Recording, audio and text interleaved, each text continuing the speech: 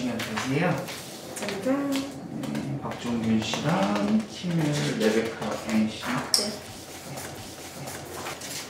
검사 결과 불일치로 나오셨어요. 친자가 아닌 걸로 나오셨어요. 저희 예, 친자가 아니다. 저희가 15개를 음, 실험 원래는 15개를 실험해서 비교를 하는데 음. 지금 13개가 불일치가 나와서 친자가 아닌 걸로 친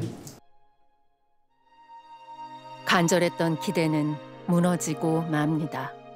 빨간 이 자체가 안 맞는다는 거예요. 안 선생님하고 맞는다. 따님하고 유전자가 안 맞는다는 안 거예요. 맞는다는 게.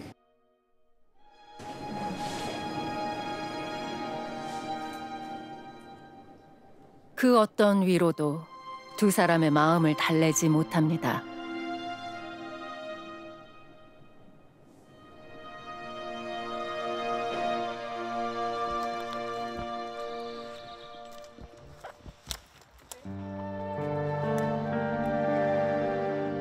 오늘 이 시간까지가 참 장시간인데 나도 이번에 수고가 참 많았어요.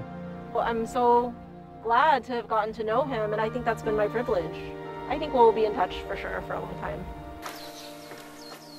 감사합니다. So cute. 예.